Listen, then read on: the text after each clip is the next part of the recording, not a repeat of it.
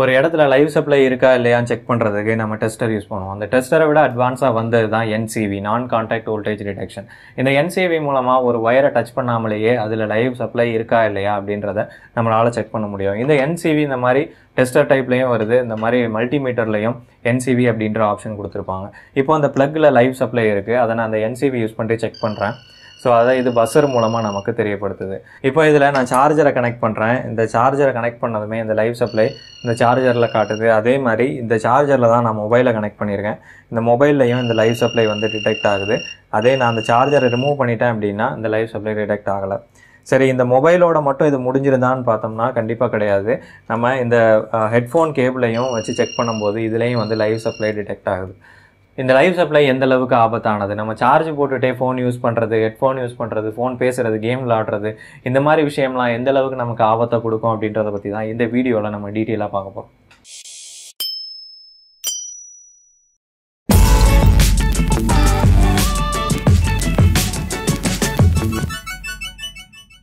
First நான் ஒரு மணி நேரம் சார்ஜ் போட்டுகிட்டே கேம் விளாட போகிறேன் இந்த சார்ஜிங் கேபிளுக்கு இடையில நான் வந்து மல்டிமீட்டரை கரண்ட்டு செக் பண்ணுறதுக்காக கனெக்ட் பண்ணியிருக்கேன். ஸோ நான் சார்ஜ் போட்டு போட்டு விளாடும் போது எவ்வளோ கரண்ட் இதில் எடுக்குது அப்படின்றத நம்மளால் பார்க்க முடியும். அதே மாதிரி இந்த ஃபோனு இப்போ என்ன டெம்பரேச்சரில் இருக்குது அப்படின்றதையும் நம்ம செக் பண்ணிப்போம். Ninety one point eight Fahrenheit இருக்குது ஸோ நம்ம இப்போ சார்ஜ் போட்டுட்டு இது எவ்வளோ கரண்ட் எடுக்குது?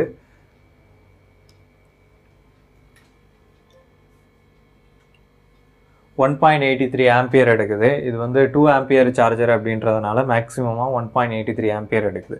ஸோ இப்போ நம்ம ஃபுல்லாக கேம் விளையாடி இதோட ரிசல்ட் எப்படி இருக்குது அப்படின்னு சொல்லி பார்ப்போம். அதே மாதிரி இப்போ சார்ஜ் பர்சன்ட் வந்து தேர்ட்டி செவன் பர்சன்டேஜில் இருக்குது ஸோ ஓரளவு அதிகமாக சார்ஜ் எடுக்கக்கூடிய பர்சன்டேஜில் தான் என்னோடய ஃபோன் வந்திருக்கு.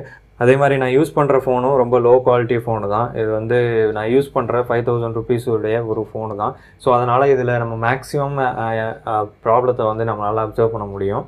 ஏன்னா இதில் அட்வான்ஸ்டு சிஸ்டம்லாம் கிடையாது அப்படின்றதுனால நம்மளால் அதிகபட்ச பிரச்சனையை வந்து இதில் நம்மளால் பார்க்க முடியும்.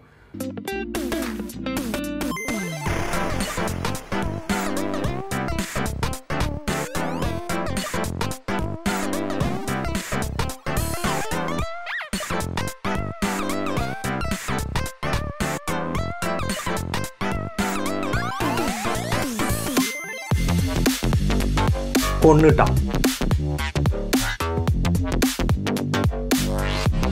கொன்னுட்டான்.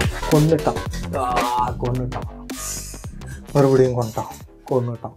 சரி இப்போ இதில் நான் ஒரு மணி நேரம் விளையாடிருக்கேன் ஸோ இப்போ இதில் எவ்வளோ டெம்பரேச்சர் இருக்குது ஸ்க்ரீனில் ஃப்ரண்ட் ஸ்க்ரீனில் அப்படின்னு சொல்லி பார்க்கலாம். One naught seven point five degree Fahrenheit நம்ம ரெண்டு பேராமீட்டர் செக் பண்ணோம். ஒன்று வந்து கரண்ட்டு இன்னொன்று வந்து டெம்பரேச்சர் இந்த கரண்ட் அப்படின்றது இந்த ஃபோன் எவ்வளோ பவர் கன்சியூம் பண்ணுது சார்ஜிங் டைமில் அப்படின்றத குறிக்கிறது. அப்புறமா இந்த டெம்பரேச்சர் வந்து இந்த ஃபோனில் எவ்வளோ ரைஸ் ஆகுது அப்படின்றதையும் நம்ம செக் பண்ணுறோம் ஸோ ஃபஸ்ட்டு இந்த கரண்ட் வந்து இனிஷியலாக நம்ம சார்ஜ் போட்டப்போ ஒரு டூ ஆம்பியருக்கு கிட்டே இருந்தது. One point eight one ampere கிட்டே இருந்தது. அதே இந்த ஃபோன் ஃபார்ட்டி பர்சன்ட்டை தாண்டிட்டதுக்கப்புறமா இது பாயிண்ட் நைன் ஆம்பியருக்கு அப்படியே ட்ராப் ஆயிடுச்சு ஸோ இந்த அது ஏன் இப்படி ட்ராப் ஆச்சு அப்படின்னு சொல்லி பார்த்தோம்னா இந்த ஃபோனில் எடுத்து இருக்கிற பேட்டரி வந்து ஃபைவ் தௌசண்ட் எம்ஏஹெச் பேட்டரி இந்த எம்ஏஹெச் பேட்டரியில் லோ பவர் இருந்தாலும் இது போதுமான பவரை வந்து மொபைலுக்கு டைரெக்டாக கொடுக்கக்கூடியது. அதனால் இந்த ஃபோன் வந்து இதோட பவரை இந்த சார்ஜரோட ஷேர் பண்ணிக்காது. அப்படி ஷேர் பண்ணிட்டு இருந்துச்சு அப்படின்னா இந்த one point eight one ampere அப்படியே மெயின்டைன் ஆகிட்டு இருந்திருக்கும். ஆனால் நிறைய பேரோட ஃபோனில் இந்த ஷேரிங் வந்து நடக்கும்.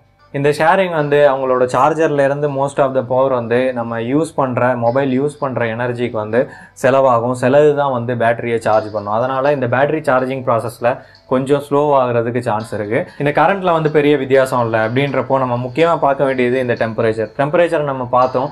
எவ்வளோ கம்மியான வேல்யூவிலேருந்து எவ்வளோ அதிகமான வேல்யூவுக்கு இந்த டிகிரி ஃபேரங்கேட் இன்க்ரீஸ் ஆகிருக்கு அப்படின்னு சொல்லிட்டு நம்ம இன்னுமே ஃபோனை யூஸ் பண்ணிகிட்டு இருந்தோம் அப்படின்னா டூ ஹவர் த்ரீ ஹவர்லாம் யூஸ் பண்ணும்போது இந்த டெம்பரேச்சர் வந்து இன்னுமே ரொம்ப அதிகமாக ரைஸ் ஆகும்.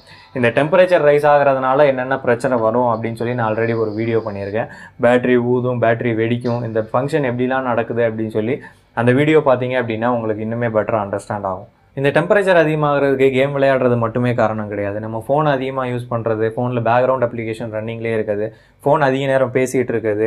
சோஷியல் மீடியாவில் அதிகமாக கனெக்ட் ஆகிருக்குது அதே மாதிரி இன்டர்நெட் சம்மந்தமான விஷயங்களை அதிகமாக நம்ம பார்க்கும்போது இந்த ஃபோனோட டெம்பரேச்சர் வந்து ரொம்பவே அதிகமாகும். அப்படி அதிகமாகுன்ற பட்சத்தில் நம்ம ஃபோனில் இருக்க பேட்டரி ஊதுறதுக்காகவோ இல்லை வெடிக்கிறதுக்கான சான்ஸோ வந்து ரொம்பவே அதிகம். இந்த வெடிக்கிறதுக்கான சான்ஸ் ஏன் சார்ஜ் போடும்போது அதிகமாக இருக்குது அப்படின்னு சொல்லி பார்த்தோம்னா நம்ம சார்ஜ் போடும்போது பேட்டரி ஆல்ரெடி ஒரு பவரை கன்சியூம் பண்ணிகிட்டு இருக்கோம். அதே இடத்துல நம்மளோட ஃபோனுக்கு தேவையான அப்ளிகேஷனு அதே மாதிரி நம்ம யூஸ் பண்ணுற விஷயங்களுக்காக சார்ஜர்ல இருந்து இன்னொரு கரண்ட் போயிட்டுருக்கும் நம்மளோட பேட்டரி ஆல்ரெடி ஹீட் ஆகிட்டுருக்கு அதே மாதிரி நம்ம அதிகமாக ஃபோனை யூஸ் பண்ணுறதுனால நம்மளோட ஃபோனில் உள்ள ப்ராசஸர் டிவைஸ்லாம் வந்து இன்னும் அதிகமாக ஹீட் ஆகிட்டுருக்கு ஸோ இந்த ரெண்டு ஹீட்டும் இன்னுமே இன்க்ரீஸ் ஆகும்போது தான் ஃபோன் வெடிக்கிறது ஊதுறது இந்த மாதிரி விஷயங்கள்லாம் ஏற்படுது. நம்ம முதல்ல பார்த்த விஷயம் இந்த என்சிவியில் லைவ் சப்ளை டிடெக்ட் ஆகிறதுனால நமக்கு எதுவும் பாதிப்பு இருக்குதா அப்படின்றது தான். இந்த என்சிவி எப்படி ஒர்க் ஆகுதுன்னு சொல்லி பார்த்தோம்னா ஒரு கேபிள் இருக்குன்னா அந்த கேபிள் வழியாக எலக்ட்ரான் மூவ் ஆகும்போது அதை சுற்றி ஒரு மேக்னெட்டிக் ஃபீல்டை வந்து அந்த கேபிள் வந்து உருவாக்குது.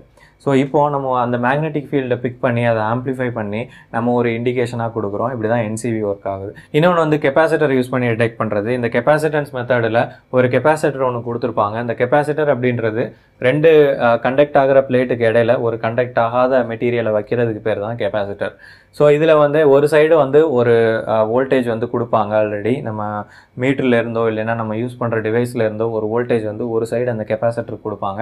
இன்னொரு சைடு வந்து நம்ம ஏதாவது ஒரு ஆப்ஜெக்ட் கிட்டே கொண்டு போகும்போது அதில் லைவ் வோல்டேஜ் இருந்துச்சு அப்படின்னா அந்த இன்னொரு லைவ் வோல்டேஜோட இது கனெக்ட் ஆகி இந்த கெப்பாசிட்டர் வந்து சார்ஜ் ஆகும். ஸோ இது சார்ஜ் ஆகுறதுக்கு அக்கார்டிங்கில் இந்த இண்டிகேஷன் வந்து நமக்கு டிடெக்ட் ஆகும். இந்த என்சிவி வந்து மோஸ்ட்லி அல்டர்னேட்டிங் கரண்ட்டை தான் டிடெக்ட் பண்ணும். அதாவது நம்ம வீட்டுக்கு வர்ற சப்ளையை தான் டிடெக்ட் பண்ணும். இந்த சார்ஜருக்கு அப்புறமா வர்ற இந்த டிசி வோல்டேஜை வந்து இது டிடெக்ட் பண்ணாது பண்ணக்கூடாது. அப்புறம் எப்படி இது வந்து ஃபோனில் இருக்கிற வோல்டேஜை டிடெக்ட் பண்ணுது? அப்போ நம்ம வீட்டுக்கு வர்ற சப்ளை டைரெக்டாக ஃபோனுக்கு வருதா அப்படின்ற ஒரு கேள்வி எழுது. ஸோ இப்போ நம்ம அந்த சார்ஜரை யூஸ் பண்ணி நம்ம இந்த அல்டர்னேட்டிங் கரண்ட்டை நம்ம வீட்டுக்கு வர சப்ளையை ஃபோனுக்கு தேவையான டைரக்ட் கரண்ட்டாக கன்வெர்ட் பண்ணுறோம் அப்படி கன்வெர்ட் பண்ணும்போது நம்ம ஏசியிலேருந்து டிசியை கன்வெர்ட் பண்ணும்போது எப்போவுமே வந்து நம்ம பியோர் டிசியாக நம்மளால் கன்வெர்ட் பண்ணவே முடியாது. அதில் வந்து எப்போவுமே ரிப்பிள்ஸ் இருக்கும். ஈவன் நம்ம அதிகமாக கெப்பாசிட்டர்ஸ் யூஸ் பண்ணி கன்வெர்ட் பண்ணாலும் அதில் ninety nine point nine percent வரைக்கும் தான் நம்மளால் ரிப்பிள் இல்லாமல் கன்வெர்ட் பண்ண முடியும். அந்த பேலன்ஸ் பாயிண்ட் ஒன் பர்சன்டேஜ் அதில் ரிப்பிள் இருக்க தான் செய்யும். நம்ம சார்ஜரில் யூஸ் பண்ணுறது எல்லாமே வந்து எஸ்எம்பிஎஸ் சர்க்கியூட் தான். இந்த எஸ்எம்பிஎஸ் சர்க்கியூட்டில் எப்போவுமே வந்து ரிப்பிள்ஸ் இருக்க தான் செய்யும். ஏன்னா ஹை ஃப்ரீக்குவென்சியில் இது வந்து சுவிட்சிங் பண்ணுது. அதே மாதிரி நம்மளோட ஃபோன் எப்போவுமே ஹை ஃப்ரீக்குவென்சியில் தான் ஒர்க் ஆகிட்டு இருக்கு.